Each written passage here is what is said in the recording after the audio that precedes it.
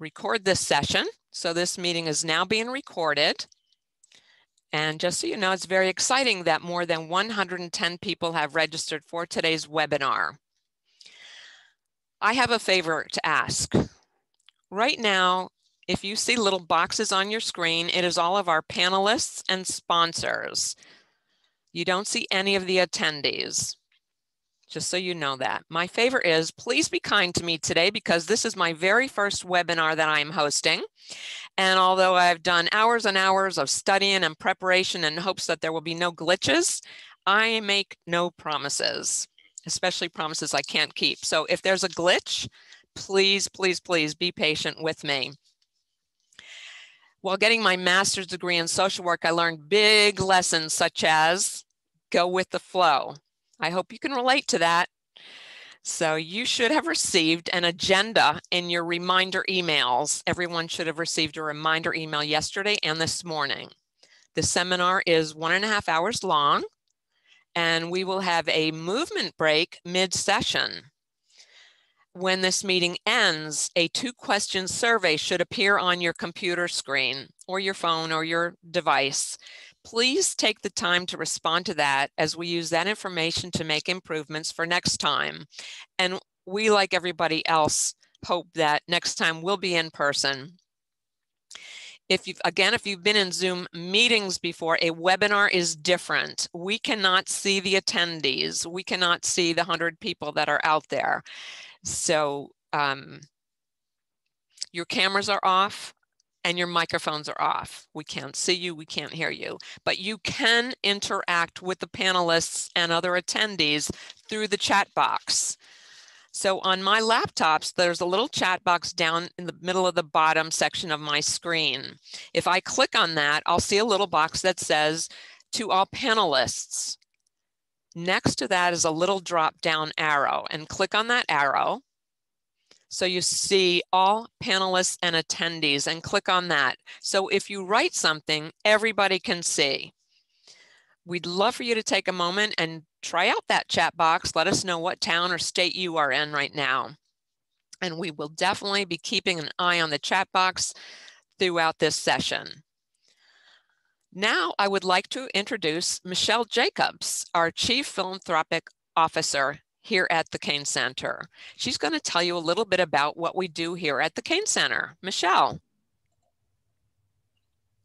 Hi there. I'm so happy to be here with all of you today. For those of you who are not familiar with the Kane Center or the Council on Aging of Martin County at the Kane Center, we are a 501c3 not-for-profit organization. In fact, the lead agency in Martin County serving seniors right here in our own neighborhood. We deliver hot, fresh meals to seniors every day through the Meals on Wheels program. Since COVID, we have gone from delivering an average of 325 meals a day to more than 500, up to 570 meals every day. We have a state of the art day club and memory enhancement program, providing socialization, classes, and support for hundreds of seniors who are at risk for isolation, suffer from memory loss or mobility loss. We provide care management and navigation to seniors and families in crisis. And we have a primary care medical office, the Day Medical Center, right here at the Kane Center with a board certified geriatrician on site. Under typical circumstances, our senior center provides exercise, brain fitness, clubs, concerts, classes, and much, much more. Right now, of course, we have limited services because of COVID. But last, last but not least, caregiver support and educational events like this one are very important to us serving our mission. We are a resource for all seniors and their families. We thank our generous donors and sponsors who allow us to provide all these vital services. If you or anyone you know needs help, call us. If you or anyone you know wants to support our services, call us. Our number is 772 223 7800, and we'll put that in the chat box for you. Thank you. Thank you so much, Michelle.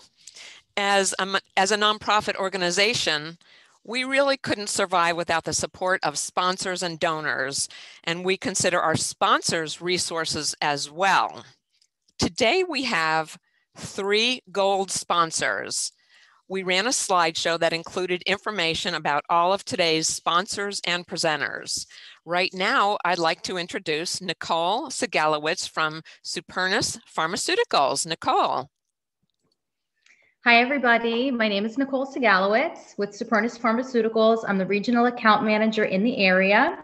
Um, I'm happy that we're able to support this uh, webinar today. At Supernus, we put uh, Parkinson's disease patients and their communities in the forefront, and we like to offer options, both treatment and support services in that regard. We have three Parkinson's disease medications, Apokyn, which is a rescue or on-demand therapy for Parkinson's, Myobloc, which is indicated for the treatment of sialorrhea or excessive drooling, as well as cervical dystonia, um, which is common in Parkinson's disease, and then Xadago, which is an oral medication also for the treatment of Parkinson's. You can learn more about our products by visiting our website, supernus.com. But again, thank you for having me here today. Um, we're happy to participate and hopefully we can participate in person one day soon. Thank you so much, Nicole. This is Donna speaking again. Nicole, and thank you for coming in a couple days early to social distance with me and help me with the webinar details. Now we have Jesus Azan from Medtronic who's going to say a few words. Jesus? Thank you, Donna. Uh, thank you for the opportunity to uh, participate uh, in this program. Uh, my name is Jesus Azan. Myself and my partner, Kimberly Howe, are the local Medtronic representatives that support uh, patients uh, with Parkinson's. Um, we work with the neurologist and the neurosurgeons all the way down from University of Miami all the way up to Stuart. Uh, and those are the physicians that treat Parkinson's, essential tremor, dystonia, and epilepsy. Um, and uh, we'll be happy to uh, answer any questions at the end of the seminar uh, with for a recommendations uh, for any patients who have any questions regarding the therapy and deep brain stimulation. So thank you. That's awesome. Thank you so much. Very important information. Next, Jeannie, whose last name is too complicated for me to pronounce, from Encompass Health Rehabilitation Hospital, wants to say hello. Jeannie? Yes, hello. My name's Jeannie. I'm a rehab liaison and I'm with Encompass Rehab Hospital. We're located in Stuart, Florida, and we're a national leader in post acute care.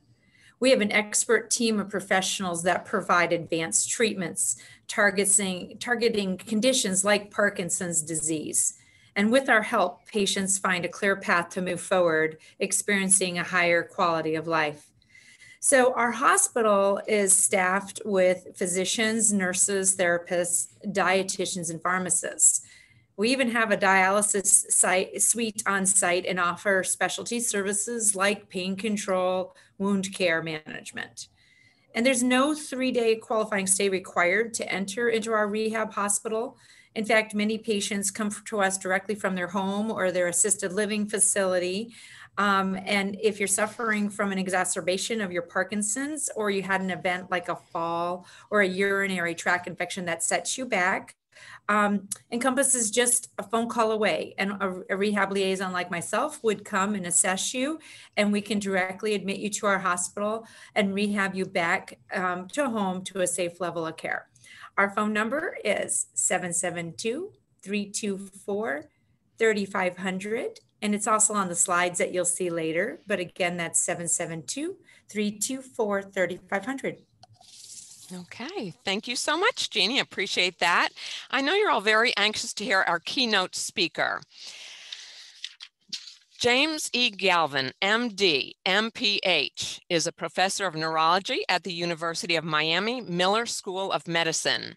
He is the founding director of the Comprehensive Program for Brain Health and chief cognitive neurology for Palm Beach and Broward counties, leading brain health and neurodegenerative disease clinical and research programs.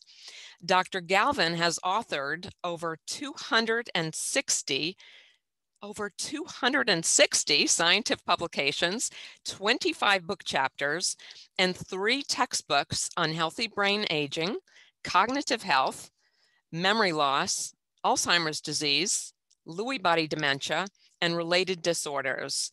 Dr. Galvin's research has been funded by the National Institutes of Health, Centers for Disease Control, Florida Department of Health, and numerous private and family foundations. I recommend that if you're watching this, put your view in speaker view and let's hand the microphone over to Dr. Galvin. Right, Donna, thank you very much. Uh, good afternoon, everybody. Let's see if my screen share works. I'll tell you in a second.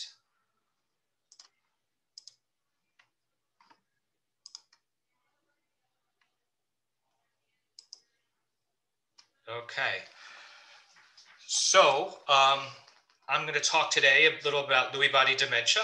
Um, uh, as, as Donna mentioned, I am with the Comprehensive Center for Brain Health at the University of Miami. I'm also the director and principal investigator for the Lewy Body Dementia Research Center of Excellence, which is one of 25 centers uh, located throughout the United States. Um, so I'm going to talk a little bit about the disease, uh, talk a little bit about our research, and then tie it up talking about you know how we approach and treat uh, these problems. Um, uh, I don't work by myself. I, I collaborate with a, a, large number of individuals who do actually do most of the work. Um, and so uh, just some of their names are listed here. And a lot of I'm going to show you is supported by grants from NIH and other foundations. So um, Lewy body dementias are really, you can think about them as the most common disease that you may never have heard of. Um, these are the second most common cause of dementia after Alzheimer's disease. Um, and the Lewy body dementias really are two disorders. They're grouped together. One is dementia with Lewy bodies, and the other is Parkinson's disease dementia. So Parkinson's disease dementia occurs after Parkinson's disease. So someone has established motor Parkinson's disease, and at least one year later, cognitive symptoms may begin. Uh, dementia with Lewy bodies is really any other pattern of presentation. Um, we know from statistics that about 75% of patients who have uh, Parkinson's disease, um, who live more than 10 years with the disease, will develop a dementia. Uh, these diseases are more common in men than in women. It's about 1.6 men for every one woman uh, with, the, with these diseases, which is very different than we see in Alzheimer's disease, where it's a, a female predominant disorder. Um, the decline in Lewy body diseases tend to be faster than we see in Alzheimer's disease. And this affects about 1.4 million Americans. So again, it's a very common disease. Um, and because it's not really well known, it often leads to significant delay in diagnosis and treatment. And we'll talk about some of the consequences of that. So just to give you a sense of the numbers, now I, I don't, I never compare one disease to another because it's not fair to people who have a disease that I'm comparing them. But just to give you a sense of the numbers, um, if you think about this, in the United States, there are about a million people who have multiple sclerosis. There are about 800,000 people who have a stroke, uh, about 700,000 people with any type of brain tumor, about 250,000 people with muscular dystrophy, 30,000 with Huntington's disease, and 12,000 with ALS. So you have a disease like Lewy body disease, which affects 1.4 million people, but a lot of physicians and lay people don't know much about the disease. And you have these other diseases that are much less common, but are better known. So um, I think one of the challenges is how we could raise awareness of the disease so that people can get diagnosed and treat and how we can do research to find new treatments. Um, these are the criteria for Parkinson's disease. Um, and so Parkinson's starts as a motor disorder. Uh, and so you have to have bradykinesia, which is slow movement, plus another symptom. So some stiffness or rigidity, a rest tremor, or postural instability. So uh, imbalance when you're walking and standing. Um, and then there are a bunch of criteria that help us sort of support the presence of the disease. But there are also exclusion criteria. So these things tell us that it doesn't seem to be Parkinson's. And one of them is early dementia. So again, we talked about Parkinson's dementia. There has to be at least a year between the onset of motor symptoms and the onset of dementia. But typically it's more like five to seven years. So if you see someone who has both of these things at the same time, that's not Parkinson's disease. That's probably dementia with Lewy bodies. From a historical perspective, for a long time, the literature suggested that in fact, no one with Parkinson's disease had cognitive problems at all.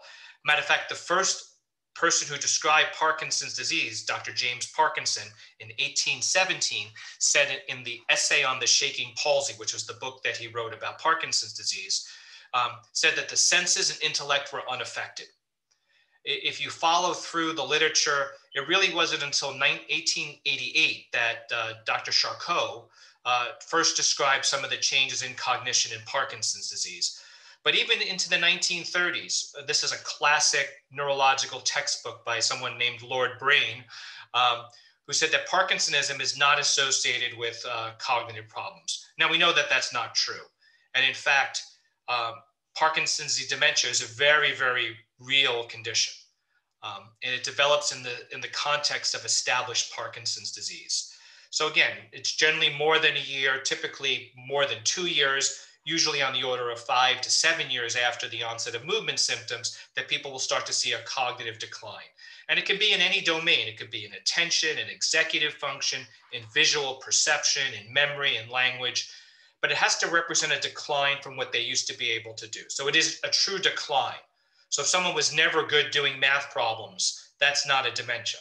So if someone was good at doing that and then loses their ability, that would suggest an impairment. So we have criteria that help us make a diagnosis of Parkinson's disease dementia. Similarly, have criteria for dementia with Lewy bodies. So this is a dementing illness. So it starts off with the cognitive and behavioral features, and many people will have some motor symptoms. Uh, so their dementia typically is more one of attention and executive and visual perception. Notice for both Parkinson's dementia and for dementia with Lewy bodies, I'm describing impairments in attention, executive function, and visual perception. What I haven't talked much about is memory, because in fact, memory is relatively preserved in these disorders compared to what you might see in Alzheimer's disease. Okay. In addition to the dementia, there are other features. So there's what we call fluctuating cognition. So these are spontaneous changes in alertness and attention. So people tend to stare, have blank looks, look sleepy during the day. Um, they can have recurrent visual hallucinations. Um, so they see things, typically little people or furry animals. Um, they can have something called REM sleep behavior disorder. So this is acting out one's dreams. And this symptom can occur decades before any other symptom. So maybe 10 to 20 years before any other symptom appears, this REM sleep disorder could appear. And almost everybody who has REM sleep disorder is going to go on to develop either Parkinson's disease or dementia with Lewy bodies. And then they can have features of Parkinson's. So slowness is the most common symptom, but they can have other symptoms as well. We also now have some biomarkers, and I'm going to talk a little bit about this in a little bit, but these are lab tests that help us be more sure that dementia with Lewy bodies are the underlying cause of the condition. So we can do things with PET scans, so nuclear medicine scans. Um, we can do things with sleep. Um, we could also look at MRI and some other tests. So I'm going to show you some examples of these tests um, in the next couple of slides. Now, before we move on, I just want to say that, you know, it's the most common disease you may never have heard of, but there are famous people who have had it. Um, and so one of the things when someone who's well known develops disease, it sort of raises awareness about the disease. And so you may be familiar with some of these people. So for example, Robin Williams has Lewy body dementia. Um, Estelle Getty from the Golden Girls had Lewy body dementia.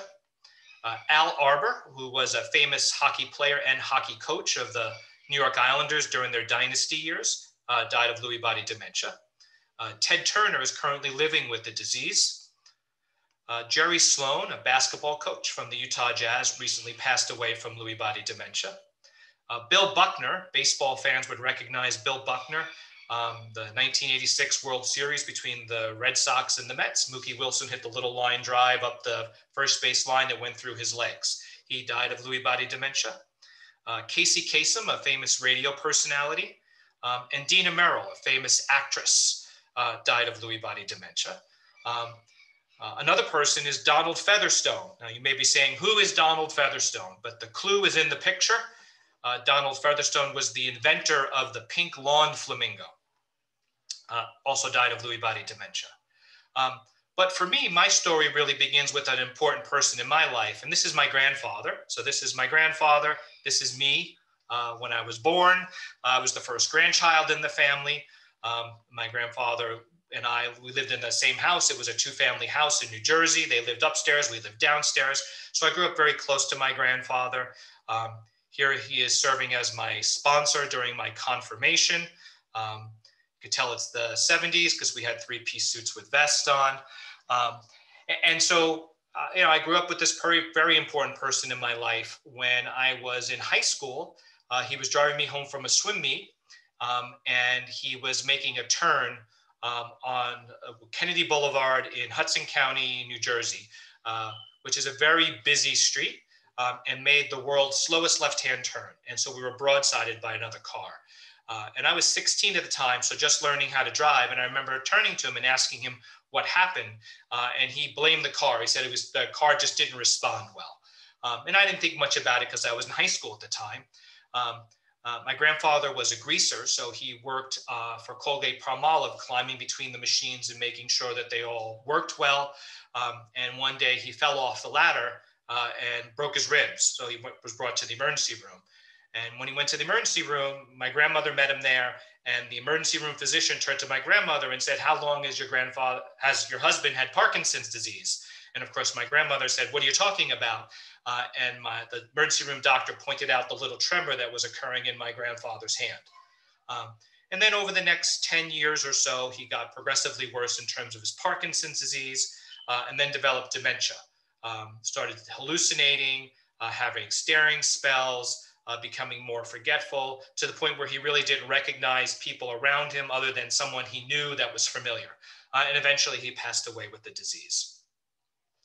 Um, when people with Lewy body dementia die, this is what their brain looks like under the, under the microscope. So this is a picture of a Lewy body. Um, uh, this was described back in the early 1900s by Dr. Lewy.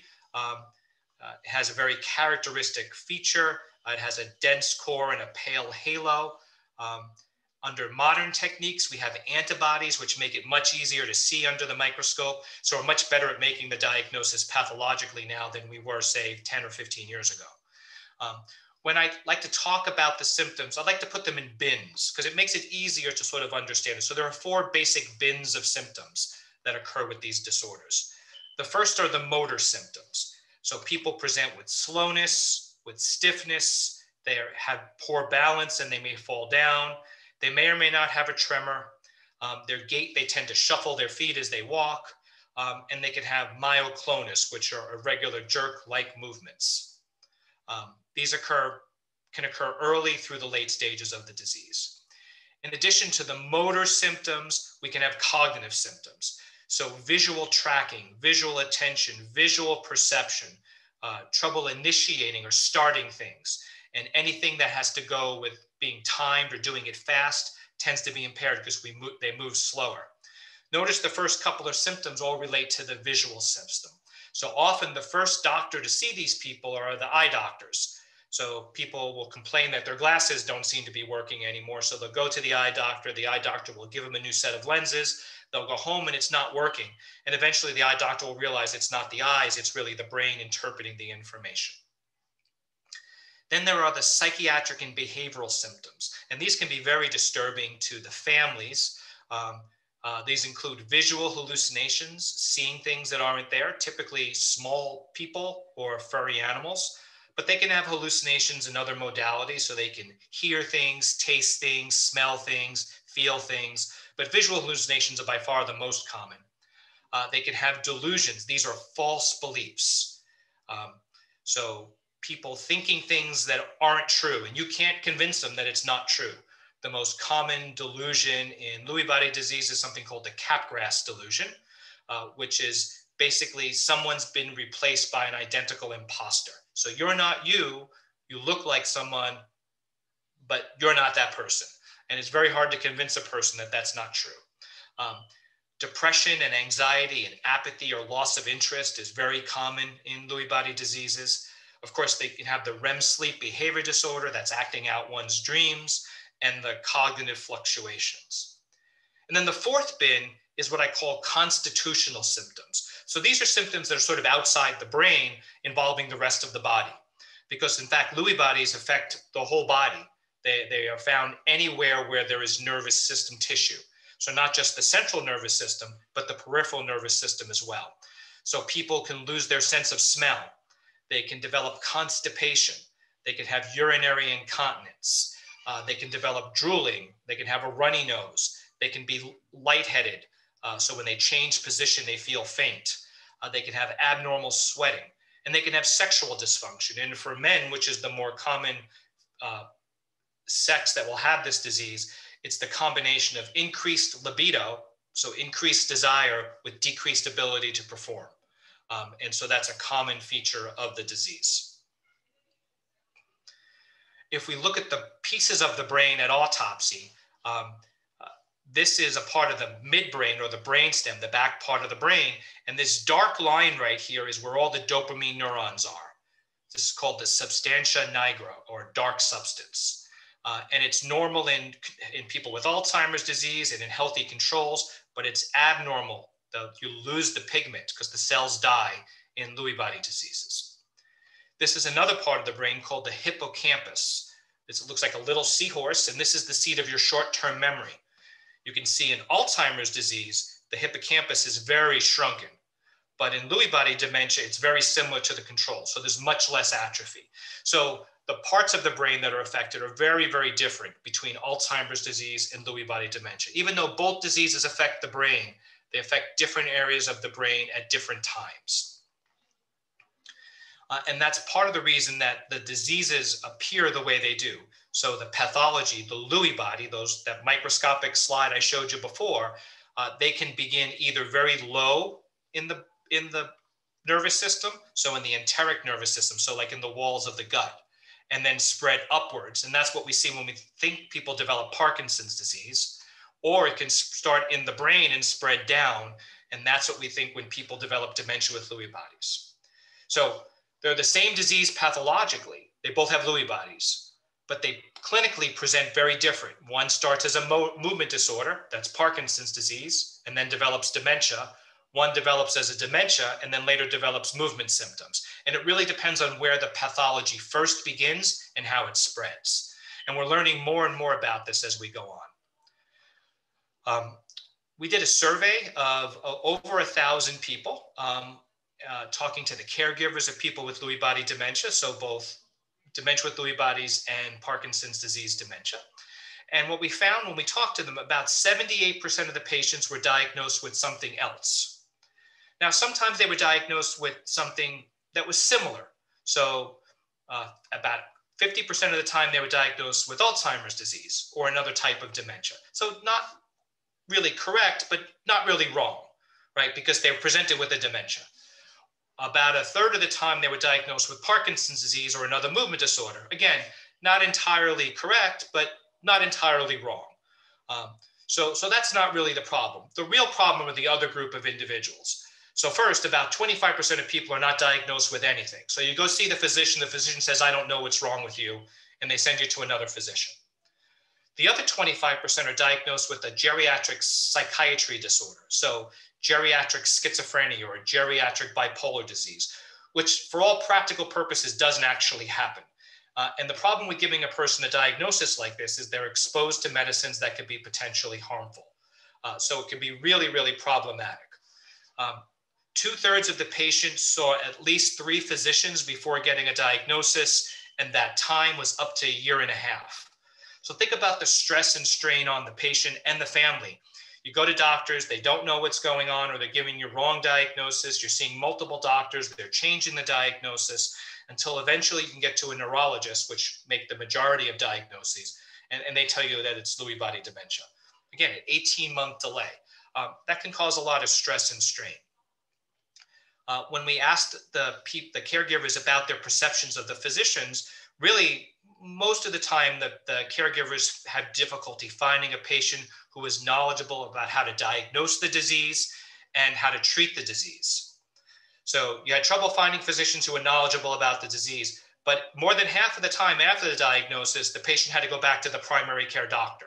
So they couldn't find a doctor who was knowledgeable about the disease. They couldn't find a doctor who knew how to treat the disease. But at the end, they're going back to the doctor who was either knowledgeable about the disease nor knows how to treat the disease. Uh, and, and that can, again, cause some real stress and strain for the family, as you can imagine. But it's really useful to make a diagnosis early. Um, the Lewy body dementias are more rapidly progressive. Uh, they cause more functional disability than we see in Alzheimer's disease. The cost of caring for a person with Lewy body dementia is roughly double that for caring for someone with Alzheimer's disease. Part in due to the combination of movement symptoms, behavioral symptoms, cognitive symptoms, and those constitutional symptoms that I mentioned before. Um, in studies of the quality of life, um, it's much lower in Lewy body diseases than it is in Alzheimer's disease. Um, and in fact, one in four caregivers rate having Lewy body disease as being worse than death. Okay, um, so it really takes a significant impact on, on families. Um, but a correct diagnosis really affords the patient and the family to do advanced care planning how you're going to make the best choices for management, how you're going to make the best choices for care putting off the diagnosis doesn't change any of those decisions. You're just kicking them down the road when it becomes more difficult to make those decisions uh, with a lot of evidence and time. Um, so the idea is we want to make these diagnoses early because it really does offer a lot of benefits. Uh, we've done some other studies looking at some differences between adult, child, and spouse caregivers. And in fact, they experience the disease very, very differently. So when we looked at the adult children, they were less likely to live with the patient. Um, they were actually much more, be, much more likely to be caring for their mothers, where the spouses were more likely to be caring for their husbands. So a different sort of dyadic relationship, right? So it was mostly adult daughters with, a, with their mothers or wives with their husbands. Um, and so it's a very, very different experience of disease in that case. Um, when the adult children were reporting, the patients they were caring for tended to be more impaired. Um, the adult children reported lower quality of life and more a higher sense of burden, um, but they reported less grief. So the spousal caregiver was grieving more than the adult child caregiver was, but the adult child caregiver had a lower quality of life and more burden. Um, and again, so very, very different experiences of the disease. Um, we did some other studies to try to understand how we how we can understand the, the concept of well-being. So if you're going to look at well-being in a caregiver, um, and you're thinking about the concept of burden, right, which is very high in the the adult children, um, we can moderate or mediate or change the effect of burden on well-being by increasing self-efficacy. That is, give them coping skills teach them how to be better caregivers, right? Give them skills to solve problems and handle situations, right? And this alleviates burden and improves well being. When we look at people who are experiencing grief, and again, this is more commonly going to be the spouse caregiver, increasing their social support, expanding their social network, giving them informational social support, uh, tangential, uh, instrumental social support, uh, this can reduce their sense of grief and improve their well-being. So by understanding the differences between the different caregivers, we can also design interventions that can provide additional benefits for the caregivers and alleviate some, some of the burden of disease. So now I'd like to share some research with you. So these are some new findings, largely led by my lab, but also discussing findings from other labs as well, as to how we're trying to understand more about the disease and how we could diagnose it better and develop new treatments. One of the things we are very interested in is looking at the differences in how the diseases prevent. Uh, so if you look at Alzheimer's versus Lewy body diseases versus other causes of dementia, so vascular dementia or the frontal temporal degenerations or depression, how people present and the type of cognitive symptoms they have are very, very different. And these profiles help us make early diagnoses. It also helps us design tests that may be able to help us make the diagnosis even earlier. So, for example, memory is much more impaired in Alzheimer's disease than it is in non Alzheimer dementias. Executive function is much more impaired in non Alzheimer dementias than it is in Alzheimer's disease. So, by doing the same type of test, looking at the different patterns, we can make a diagnosis. And this is what neuropsychologists do. When they when the patient goes to see the neuropsychologist, they do lots and lots and lots of tests The reason for that is the different patterns will help you make a determination of what the diagnosis is. Excuse me.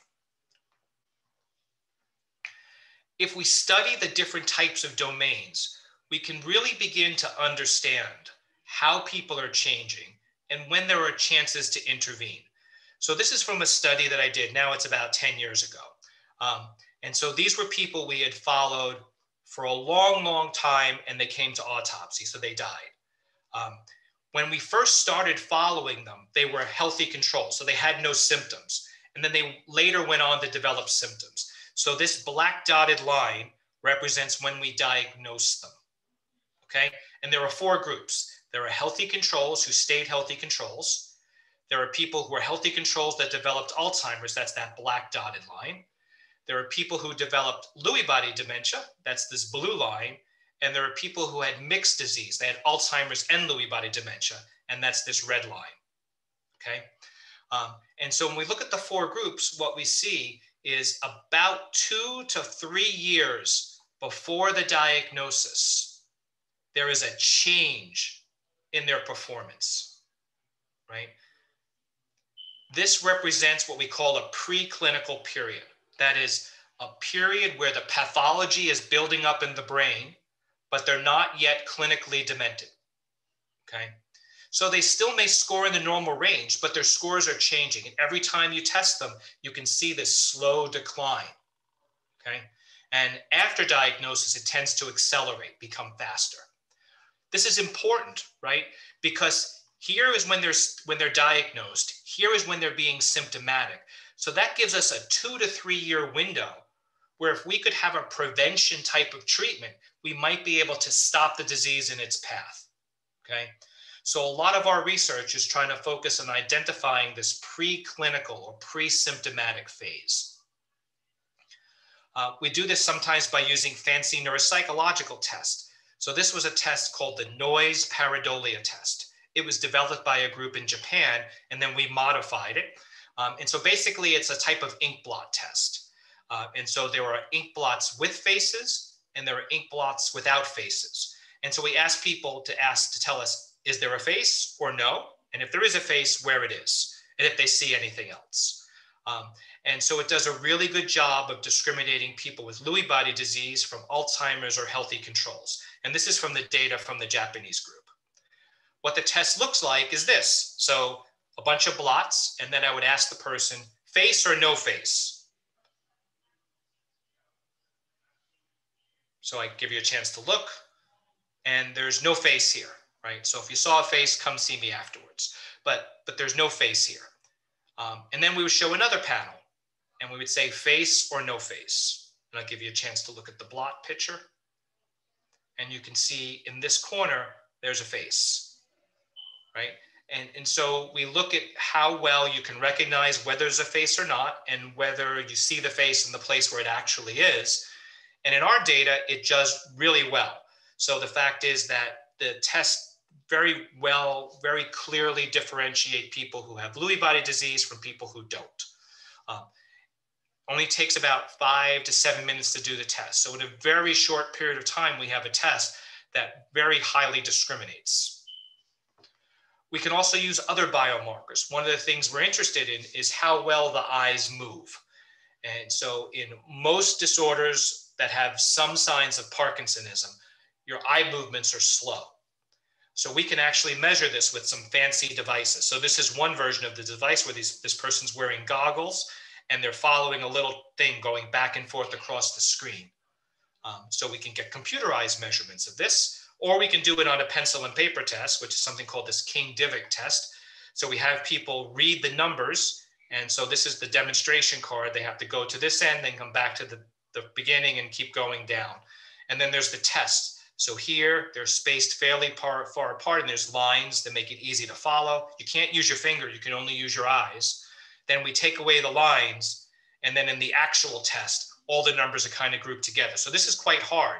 And so basically you have to read the number five, four, one, eight, zero, four, six, three, five, nine. So you got to keep going back and forth across with your eyes. And we see how long it takes you. Um, and one of the things that we found is this test does a really good job of matching up with Parkinsonian signs. right? Um, and so we can look at people who are healthy controls who are just beginning to show some signs of Parkinsonism and make a prediction of whether they're likely to develop Parkinson's disease or Lewy body dementia based on their eye movements. We can also do this with their walking. So we have a fancy gait lab, it's a computerized mat. The mat has millions of sensors in it. You walk across it, and we can collect a whole lot of data. One of the things we collect is how many steps people take in a standardized distance, right? So we call this the Festination Index. Don't worry about what it's called, but basically we're looking at how many steps per meter, right? Um, and so a healthy control uh, walks 1.3 to 1.5 steps per meter.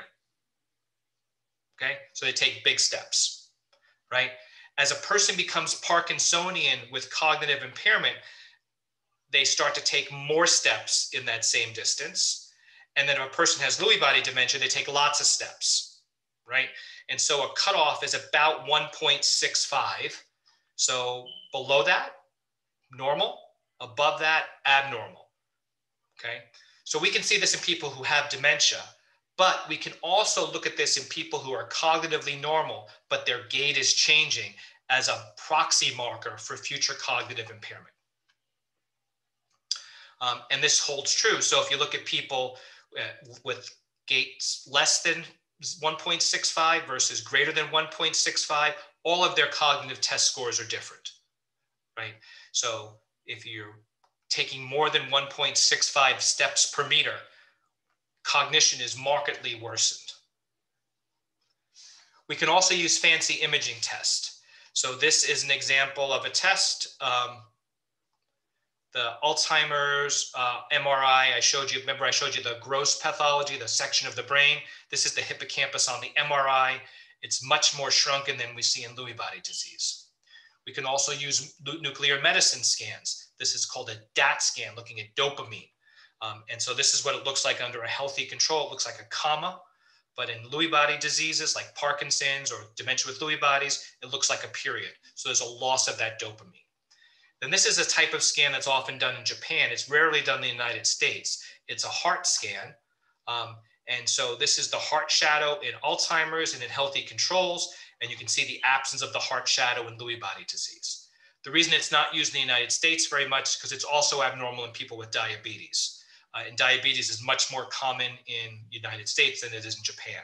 So it's not as a sensitive test in the United States. We can also do some fancy electrophysiology markers. So this is an EEG, right? So this is a very dedicated person. This is 256 leads glued onto their head. So this gives us really full coverage of the brain. And what we found is that as you move from controls to people with Parkinson's and Parkinson's with dementia, there's a change in the electrical activity of the brain. So it becomes a lot slower. So there's an increase in slow wave activity. Uh, and this corresponds to a change in their test performance on pencil and paper test. So another marker of disease that we can use potentially to predict who's going to develop the disease. One of the last blood things I want to talk about is a blood test. Um, and so there are several companies, and this is a company that we're working with in, in Taiwan um, that's developed a blood test. Um, and so looking at healthy controls versus people with Parkinson's disease, we can measure this protein called alpha synuclein. This is the protein that's in Lewy bodies, the, the, the pathology in the brain. And it increases as Parkinson's get worse, and it increases with cognitive impairment. And if you look at Parkinson's markers with Alzheimer's markers, you can start to differentiate people. So here's some data from our group.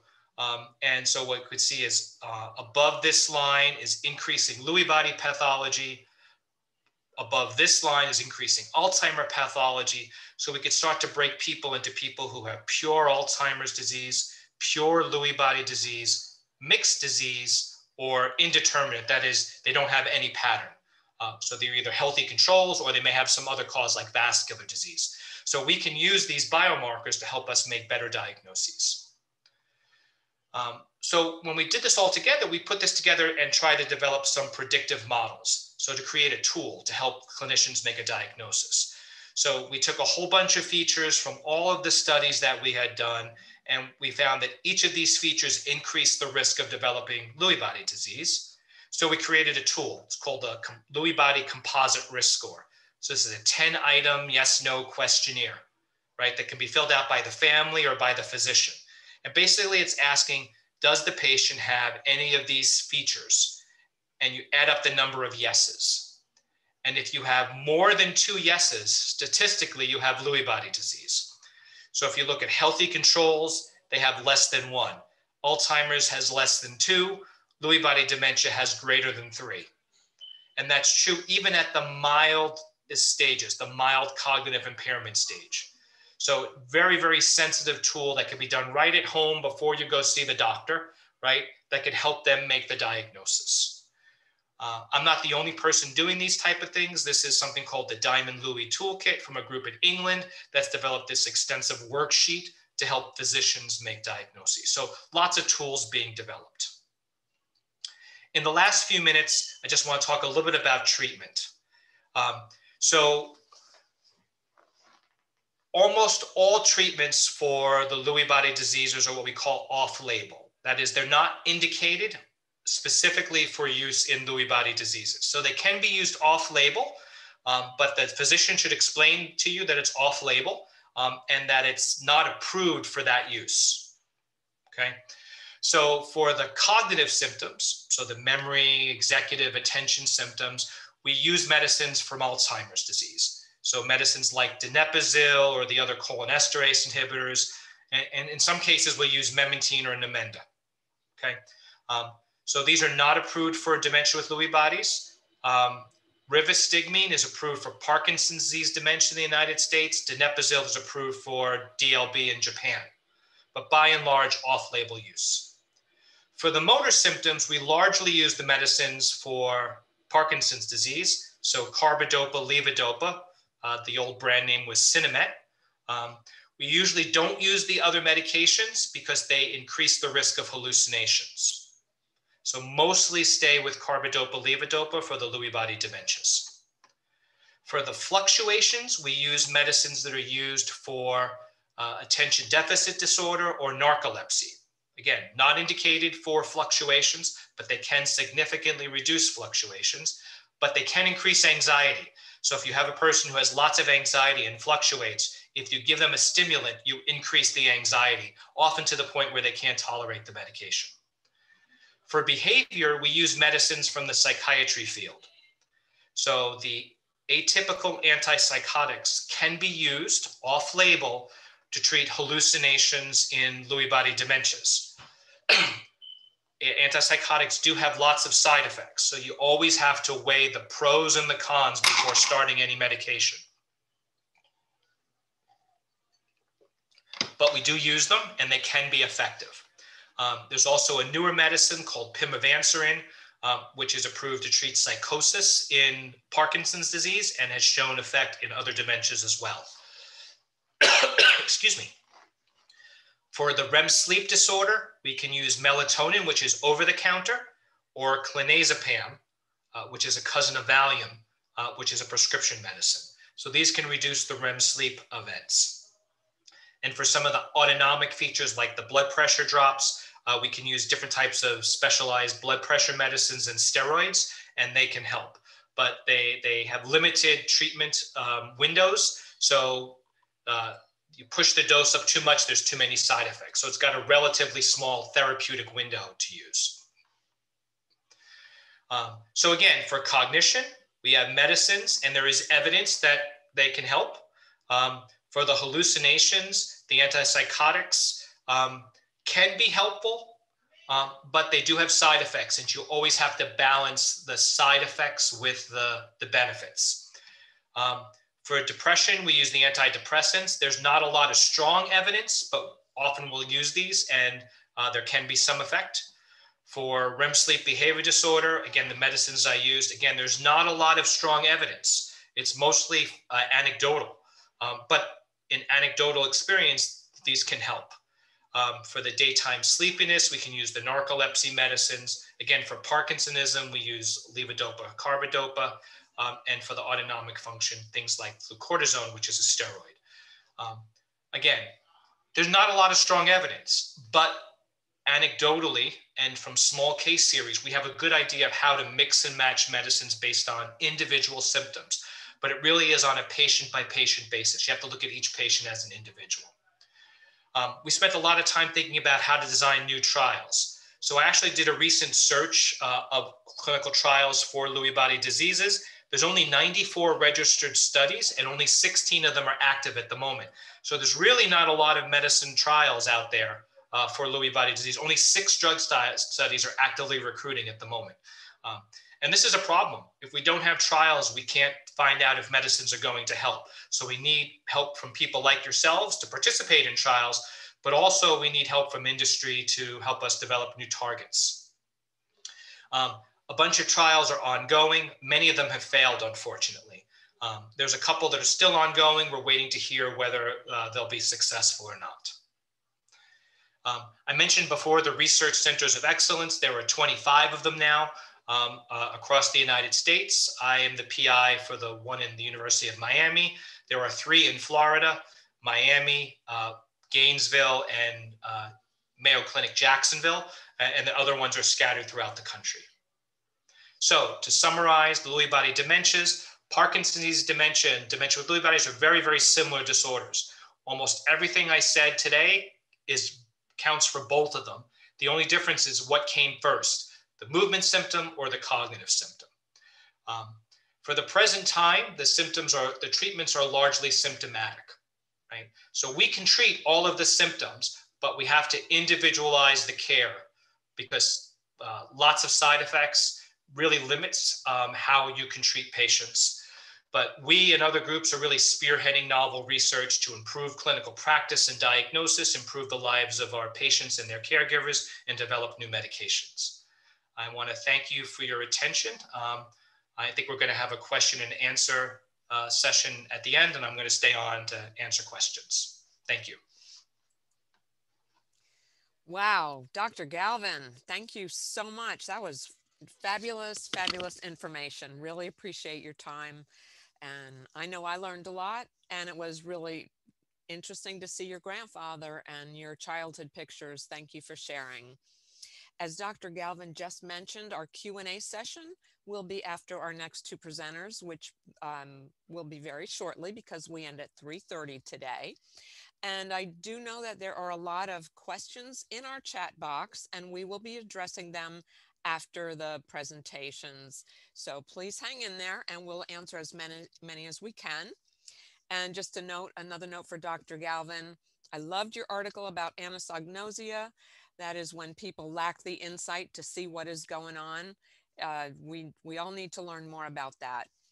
So now moving on, in the past, when we've hosted the events in person, we have received feedback from our audience that it was very challenging for people, especially with Parkinson's, to sit for a length of time.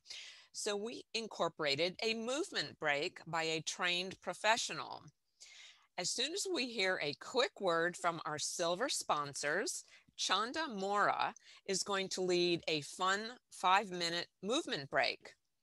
Now I'm going to ask Deb Thompson to unmute and put your video camera on so we can see you. There, she's unmuted. And how about a word from you about senior helpers? Sure. Good afternoon. I'm Deborah Thompson. I'm with Senior Helpers of the Treasure Coast. Uh, we serve clients from Hobe Sound to Fellsmere. We have 125 caregivers on staff, uh, CNAs, HHAs, LPNs, and RNs. Uh, we supply all of their PPE and do COVID testing for all of our staff as well. We offer transportation, shopping, uh, meal preparation, uh, light laundry, light housekeeping, medication reminders. Uh, we can come out and do a free assessment or a life profile, uh, or we can do it over the phone if you're a bit concerned about having people coming into your home. Um, more than your caregiver, obviously, and we can send documents over DocuSign uh, if whether it's to you or to a family member that's not near you that's going to be taking care of the billing.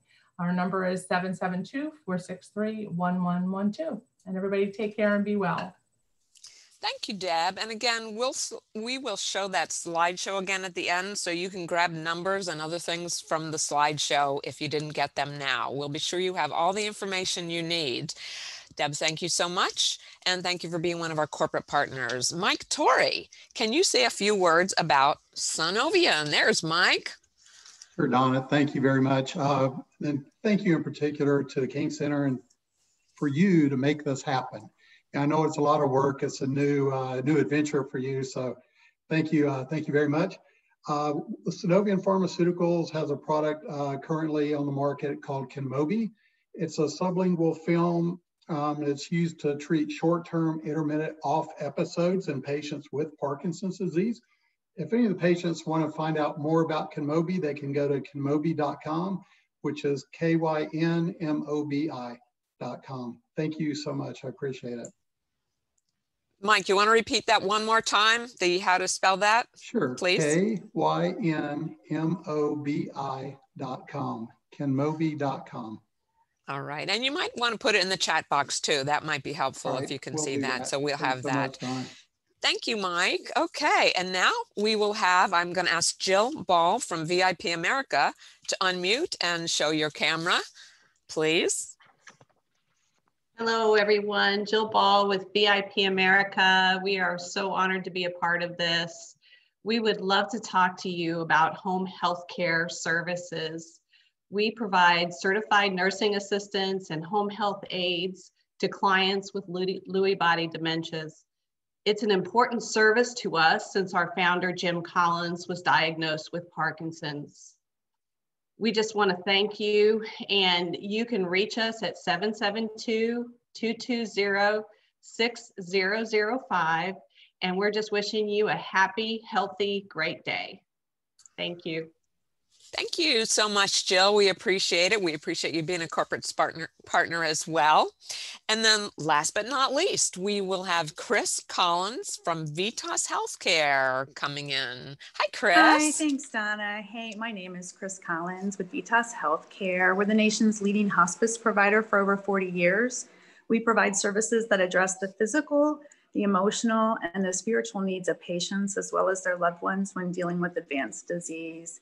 So please feel free to give us a call. Our national hotline is available 24 7 for information on maybe how Vitas can help support you and your family if and when you need it. The number is 800 938 4827. Of course, you can give me a call as well. And um, thank you all so much and take care. Thank you so much, Chris. We really appreciate it. And how about the audience? Are you ready to move now? Ready? We're going to have Chanda Mora, the founder of NeuroFit Florida, get us moving for about five minutes. And Chanda, are you there? All right. There she is. Hello, everyone. I'm Chanda Mora, founder of NeuroFit Florida. We are doing virtual training uh, through classes as well as one-on-one training. And we also offer in-home or in your pool training as well. There's just a couple of rules. I need you to stay safe, safety first. So if you need to stay seated, stay seated. Uh, if you're going to stand up and you need to hold on to a chair or table, then you can do that as well. Um, the second rule is just to have fun. So are you ready? Go ahead and stand up if you're going to stand up or stay seated if you're going to stay seated and I will start the music.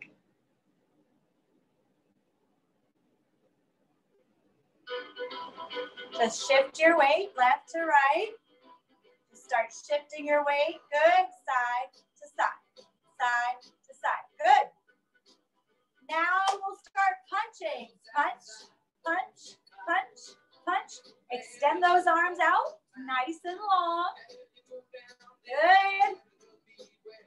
Ready, set. Now punch side to side. Rotate that torso. You got it. Good. Get ready, get set. You're going to march in place. Let's go and march, march, march, march. Lift those knees. You can march if you're seated too. It's all good. Back to those punches and punch, punch, punch, punch. Excellent. Reach those arms out nice and long. Good. Back to those side to side punches and punch. Rotate that torso. Turn left and right. You got it. And smile. You're having fun. You're moving. Back to those marches. Let's go and march, march, march, march, march, march. Lift those knees up, up, up, up. Good. Now we're gonna step side to side. Step, step, you got it. Step and step, step and step. Good. A few more, just step. You go at your own pace. Good. If you're going faster than me, fine. If you're going slower, it's fine.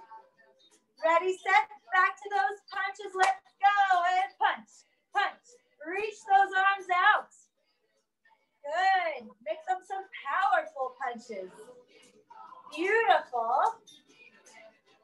Back to those side to side punches. All right, we're gonna start to punch high. So we're gonna have good posture.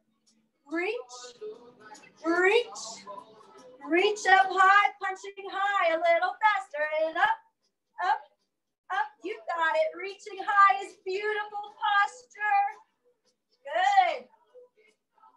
You got it. Eight more. Good. Four, three, two. Give me those high knee marches again. Finish strong. And smile. Lift those knees.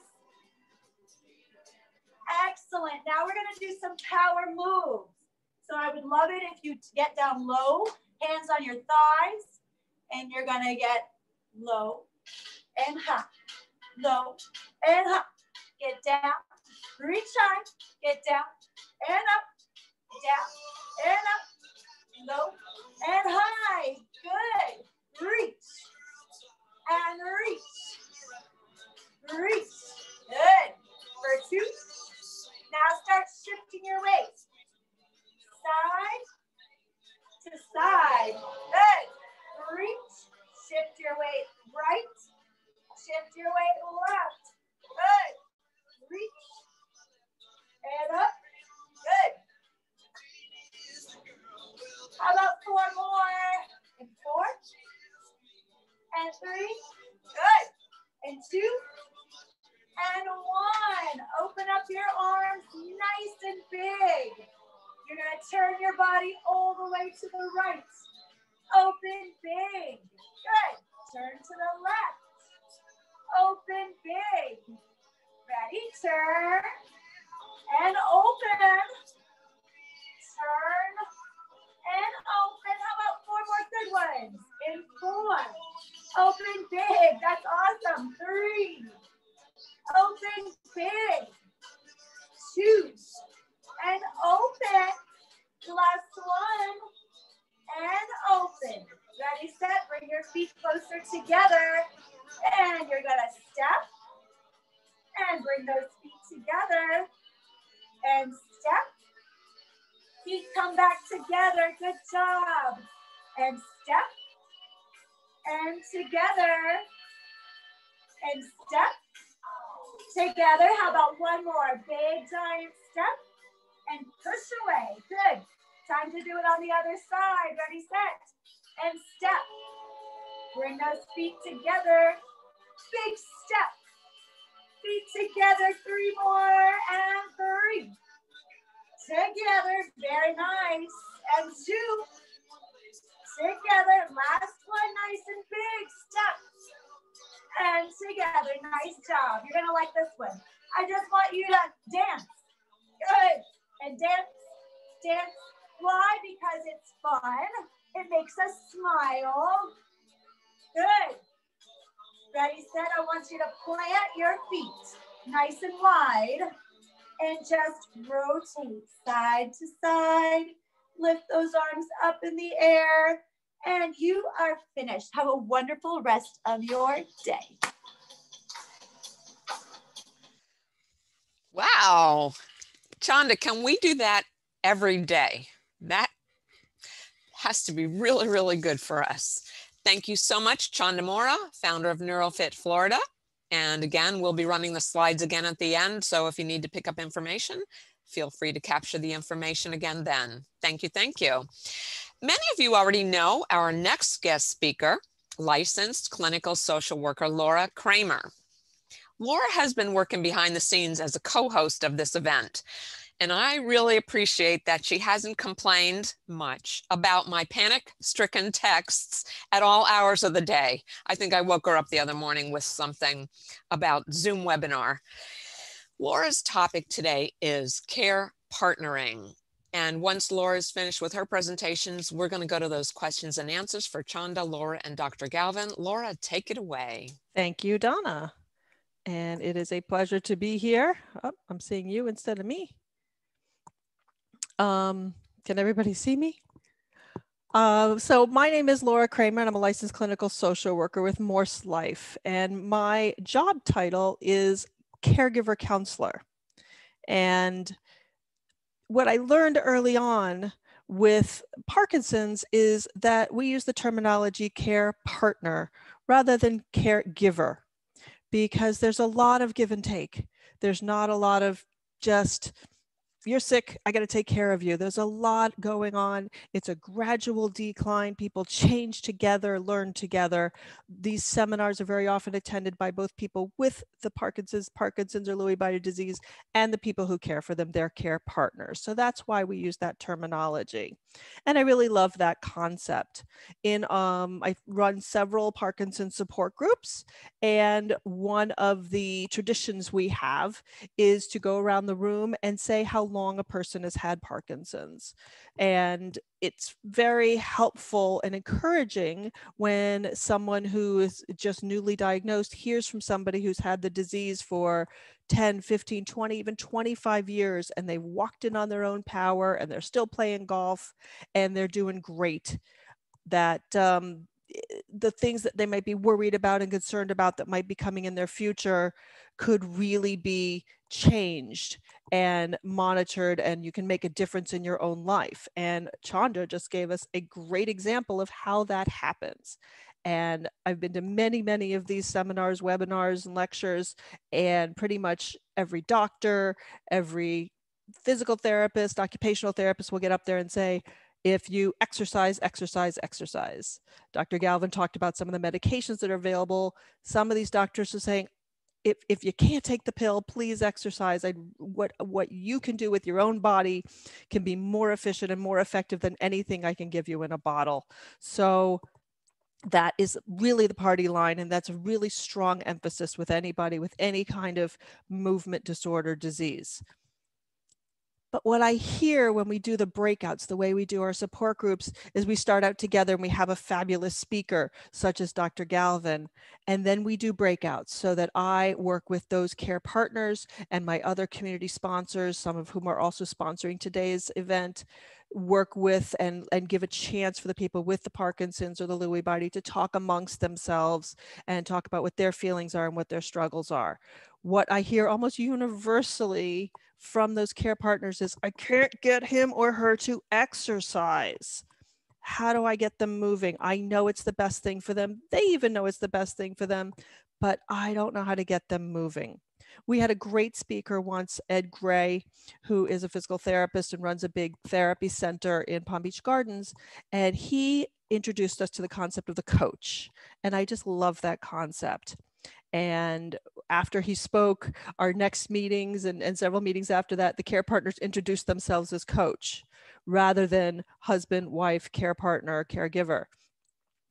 But I love the concept of coach because even the greatest athletes in the world, I like to use the example of Michael Phelps, who, if anybody beats him, I'm in trouble. I got to change my, my example. But Michael Phelps, the greatest Olympic swimmer in the world, but he has a coach.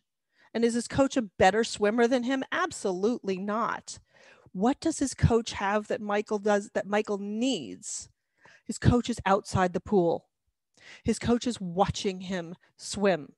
His coach can see if he didn't lift his arm high enough, or he didn't turn his head far enough, or didn't kick fast enough. He can't see that for himself. So he pays this guy a lot of money to stand outside the pool and tell him how to be the absolute best he can be. That's what we're talking about when we talk about partnership. If you or I walked by the pool while Michael Phelps was practicing and said, Hey, dude, you're not kicking far enough, he'd tell us to take a hike, right?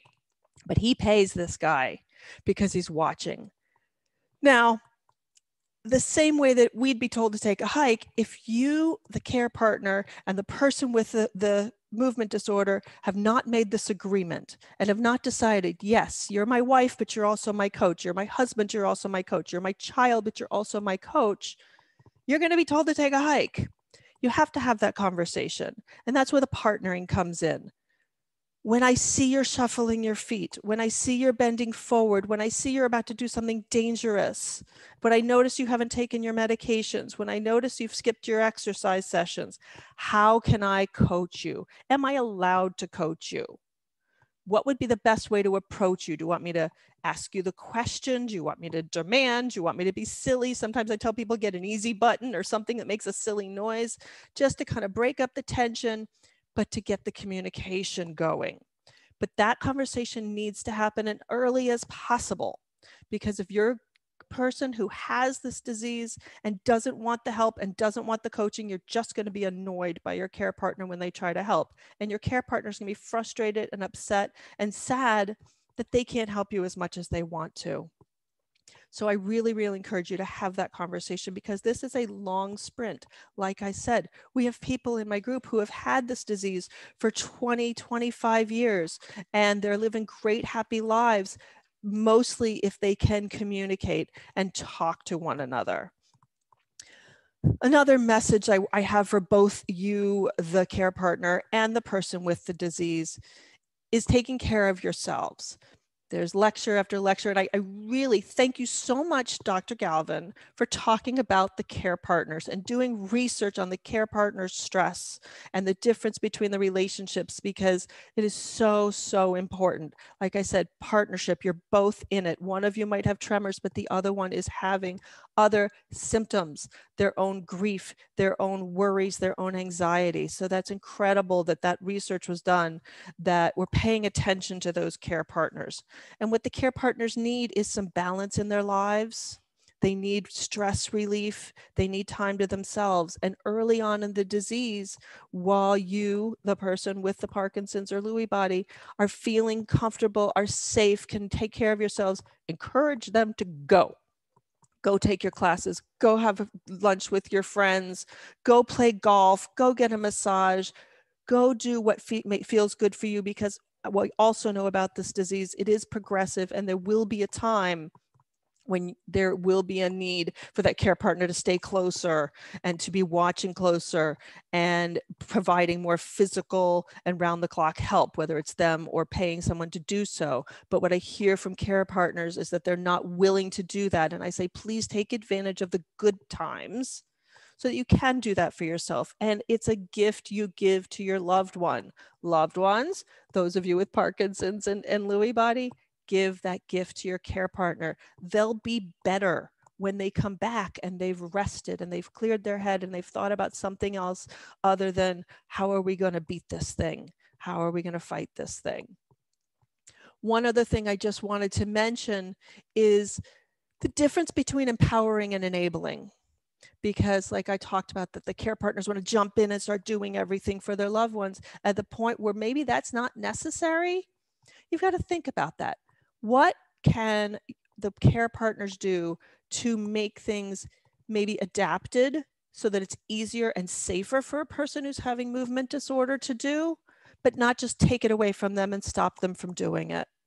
Some things might need to stop, and that's where discussions with doctors and therapists, whether driving is still safe, whether your cognitive uh, abilities, have you being able to manage the finances of the house, those things might gradually need to move over but there's other things that you might still be able to do safely and enjoy doing that is good for you to keep doing as long as you're adapting it and making it safe. The other option is if a care partner comes in and says, nope, no more of that. You can't cook anymore. You can't do the gardening anymore.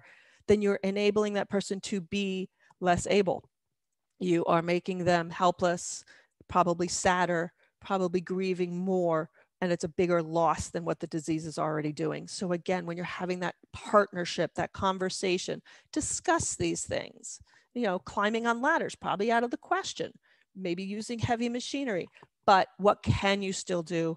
How can you still be successful and powerful and moving forward. I have mentioned um, that I do support groups right now with all the changes in the world. We're doing things virtually.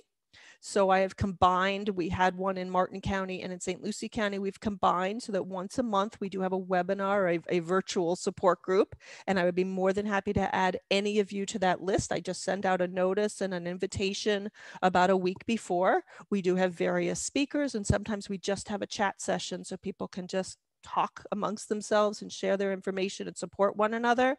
So I'm going to give you my information real quick. Maybe.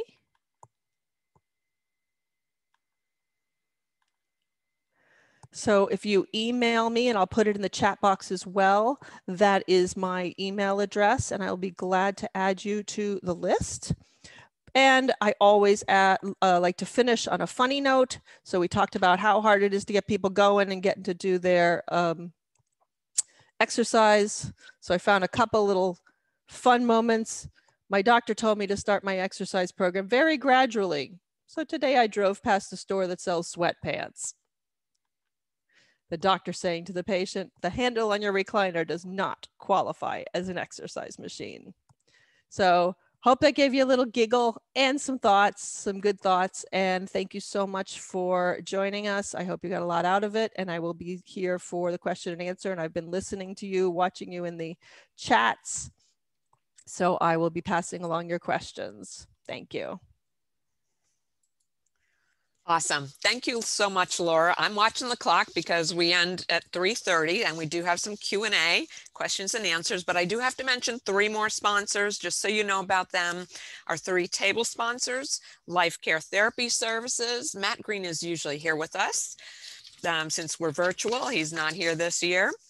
He may be watching though. Elite Home Health Services is Suzanne Moore, who is usually here with us. They all have slides, and also Acorda Therapeutics, Mike Sorg. So many, many thanks to all the sponsors for their ongoing support. And Dr. Galvin Chanda and Laura are available for our Q&A, question and answer session now. So Laura, did you have any pressing questions? You, If everybody, all the speakers, Chanda and Dr. Galvin, can turn your videos on now and if you want to put your view in gallery view, you will see all four people. And Laura, did you have, I know, I think we actually emailed a couple of questions out ahead of time. I don't know if anybody wanted to address the ones I sent out. If you do, speak up now. I was hoping Dr. Galvin would. um, let's see. So I, um, one of the questions was about uh, arthritis and Parkinson's that limited exercise. Um, and, and, so for, you know, exercise is important, but obviously some people have physical limitations. Um, but there are low impact exercises, right? So, uh, you know, there's chair yoga, for example, which is very low impact. And so even people who have minimal physical fitness can get a fairly vigorous workout uh, through chair yoga. Um, there are also adaptations of silver sneaker programs um, that are, are chair based, uh, again, where you can get a pretty strenuous workout from a chair. Um, so uh, movement is good. And I realize that there are things that impede movement, but you know, you just try to find um, people who are trained in doing low impact type of exercises so that, you know, you can make the most of your mobility uh, and hopefully eventually uh, gain additional mobility so that you can participate in other exercises. Okay. Thank you very much. Uh, Laura, was there anything Sean, else? I Sean just tried to speak. You have to unmute. I would like to add to that. Um, I do have experience working with people who also have arthritis and Parkinson's. And if you have access to a pool, I have to say that the pool exercises are by far my favorite, whether you have Parkinson's, Parkinson's, and arthritis. Water movement, movement in the water is just so invigorating as well as easy on your joints and your bones. It is fabulous. So if you have access to a pool, that is ideal. if you don't have access to a pool, like Doctor said, uh, just stretching, um, chair tai chi, uh, there's, but stretching in general, easy flow movements. So yes. Great, thank you. And I know there was a question in the chat box about, was it medications for hallucinations that don't affect the heart? Was it? Yeah, so there were several questions about hallucinations. And so I will preface any question is that I cannot give an answer specific to you because I don't know the person who's asking the question and I haven't examined the patient. So medication type answers are broad in general in nature. Um, so there are no medications that are specifically approved to treat hallucinations and Lewy body dementia. Um, we do use medicines off label, as I mentioned during the talk. Um, so these are medicines that are largely from the psychiatry world, um, and they can be effective in reducing hallucinations. Uh, but the first thing to think about is does the symptom need a medicine at all, right? So not every symptom needs a medication. Um, so if you can talk the person out of the hallucination, there's no reason to give them medication. Um, and so generally I ask uh, the care partner three questions. So does the hallucination or any other behavior uh, for that matter, does it interfere with patient care? Does it interfere with patient safety or does it interfere with the care partner safety? And if you can't answer yes to one of those questions, a medication is not needed uh, to treat a behavior. You can use non-pharmacological approaches like distract and redirect.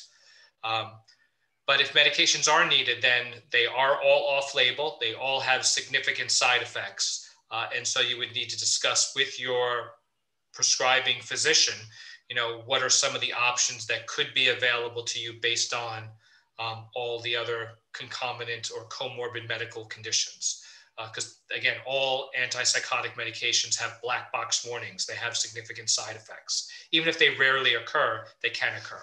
So it's important to discuss that with your neurologist or, or internal medicine doctors. All right. Thank you so much. And I know there was a question in the chat box about the vaccines here at the Kane Center, which we have Day Medical in our building. And so far we've only received and, and dispensed 100 doses. So we don't know what's in store for the future. If you go to kanecenter.org, you can click on the Day Medical part of that of the website and, and you can get updates via the website. Thank you. Laura, was there anything else there was the, a oh, go ahead. Yeah, go ahead. there was a question uh, again for Dr. Galvin. Kind of a distinction between vascular dementia, vascular Parkinson's, and Lewy body. Right.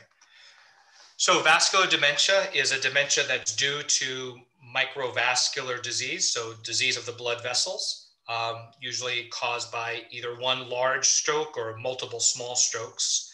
Um, most people with vascular dementia also have some Alzheimer's disease changes. Um, vascular Parkinsonism, you know, when I was training was thought to be incredibly rare. We now know it's not. Um, so if, if vascular lesions are in certain parts of the brain, it can mimic some features of Parkinson's. Um, although it's it's different, it's clearly different when you're examining them, but can mimic some features. Um, the only relationship directly to Lewy body dementia is the Parkinsonism that you can see. Uh, vascular dementia typically does not have hallucinations, fluctuations, or REM sleep disorder.